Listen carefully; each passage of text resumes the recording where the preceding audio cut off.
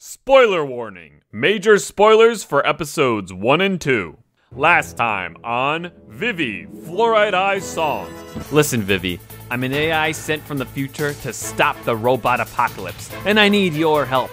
The first thing we gotta do is save this congressman. Nah, that's I.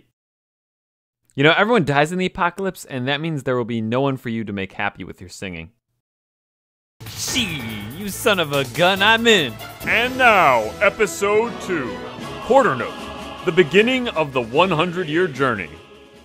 Summary In this episode, we follow Vivy and Matsumoto as they try to save that congressman. The external conflict of this episode is, of course, that situation, but the internal conflict is mainly Vivy and Matsumoto trying to figure out how they can work together, because right now they do not get along very well. By the end of the episode, they do save the congressman, and while Vivy and Matsumoto don't really like each other, it seems they have gained a better understanding of one another. The end of this episode got me really messed up though, when Vivy's kid friend dies in a plane crash. Vivy was powerless to do anything, and Matsumoto makes it clear that they're only here to alter specific things about the past, and they aren't going to stop every tragedy. Impressions.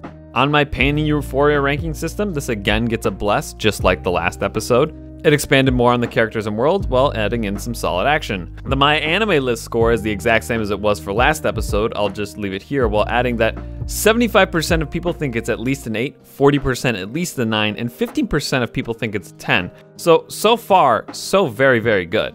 Predictions, again, same as last time. The best thing this show can do is more of the same, and the worst it can do is just make everything extremely convoluted, like, you know, normal anime.